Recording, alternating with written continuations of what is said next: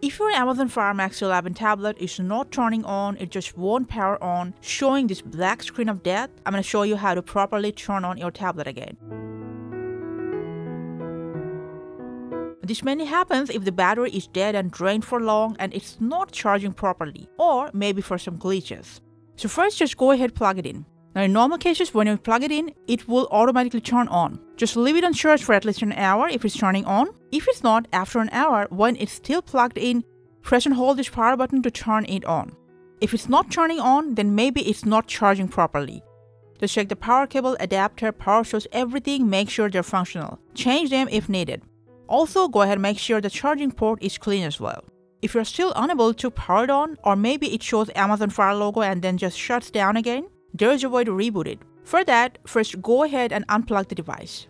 Just press and hold this power button and volume up button together. Keep pressing it till you reach this recovery mode. Now you can use the volume up and down button to go up and down, and then power button to select it.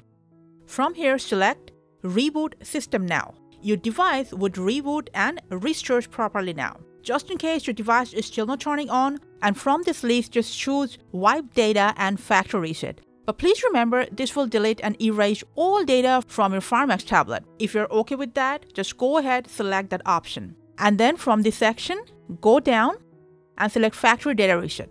Wait for the erase process to complete, and when you are redirected here again, select Reboot System Now.